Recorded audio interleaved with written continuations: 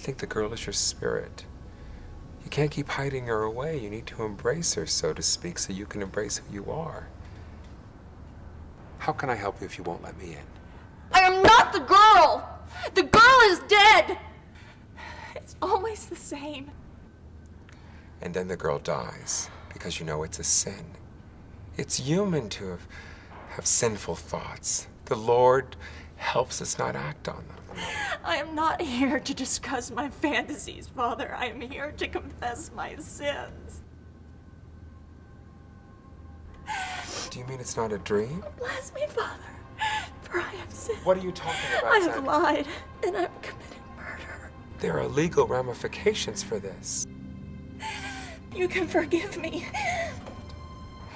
God forgives you, my child. Yes, yes, I'm here. Yeah. I'm getting milk, paper towels, bread, wheat, not white. Yeah, I'm getting it.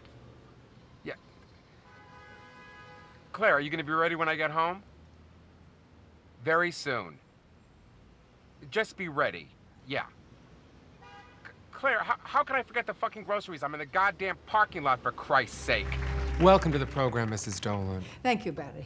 No one can allege to comprehend exactly what you've been going through, and I'm certainly not going to insult you by trying. How you holding up? Uh, as well as can be expected. There's been unremitting media scrutiny surrounding your family, and I understand there's been some misconception about Jared's father. Is that correct? yeah, yes, I was told we wouldn't be talking about this. Tell me, Mrs. Dolan, when a child takes the life of the man that you love, how does that change the dynamic of the family unit? The dynamic. Hold that thought. We got to take a break. Next on the Barry Spears Show, we have Jared's junior high school girlfriend who will discuss his brutal capacity for violence. Stay with us.